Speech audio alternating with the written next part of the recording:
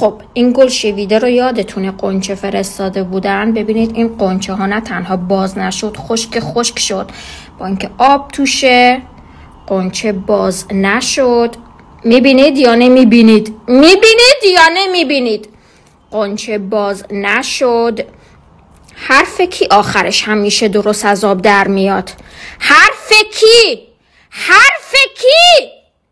آخ آخ جگرم داره میسوزه. می‌بینی؟ سلام. صورتم کلی جوش جوشی شده به خاطر اینکه با آرایش کنسرت خوابیدم. اومدم بهتون بگم که ماه پیش یادتونه. نزدیک پریودین بود و اینقدر رونم کبود شده بود یادتونه؟ الان باز نزدیک پریودیمه ولی فقط زرد شده. می‌دونی کبود نشده اینجا و یه مقدارم اینجا. خیلی ترسیدم ماه پیش. به خاطر یه سری کار رو انجام دادم که دیگه کبود نشدم. بهتون میگم چیکار کردم. نیاز هست هر دختری بدونه و به سلامتیش اهمیت بده. خیلی ترمایید برنج. ماهی سرخ شده و سبزی تازه. یومی اول از همه فردا ایدیای عکس سفره هفت آخرین آخرین پستم هست تا فردا ایدیای یک میلیونی شو اعلام می‌کنم. خودتون و حساب بانکیاتون رو آماده بفرمایید.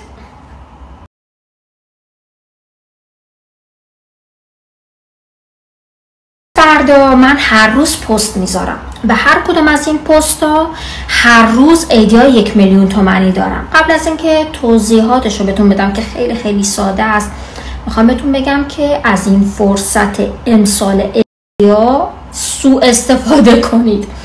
به خاطر اینکه همیشه اینطوری من ایدی نمیدم. می‌دونید که امروز اینستاگرام هست فردا نیست. امسال دارم ایدی میدم. امسال عید هستیم. ممکن اصلا بعد نباشیم. می‌دونید که خیلی غیر قابل پیش بینی هست. به همین خاطر امسال رو ساده ازش نگذرین. حالا که من دارم ایدی میدم و ازش نهایت استفاده رو بکنید چون برای همیشه نیست. پس شد. من هر روز پست می‌ذارم و توی پست چیستان میگم. چیستان. تو جواب درست چیستان رو بگی. ایدی یک میلیونی ازم می‌گیری. به همین سادگی و به همین راحت. دیگه راحت تر از این جواب چیستان از کجا بدونم ندا؟ تو گوگل بنویس. تو گوگل بنویس. گوگل. خیلی ساده است. گوگل بنویسی جوابش میاد برات بالا همون یا این که بیا توی کامنت ببین اکثرا چی جواب دادن همونو بنویس. ساده تر از این راحت تر از این. خیلی ساده است. حالا یه بار که بذارم این آخرشه ولی مهمتر از همه است.